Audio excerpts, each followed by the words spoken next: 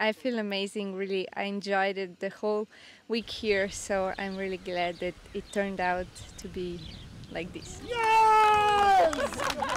Well, I worked really hard, and I mean, I'm really happy that it paid off. Uh, it means really a lot. I've been wishing this for a while, so I'm really happy. And you had your dad on, on the bag today. He travels a lot with you. Have you got a couple of words about about him? Well, I'm really glad that he does travel with me, um, and being my caddy is just um, great. And you'll be now playing in the Evian Championship in a few weeks' time. How does that feel? Well, I've been playing the junior Evian, so I was already watching the big girls play, so I'm really excited.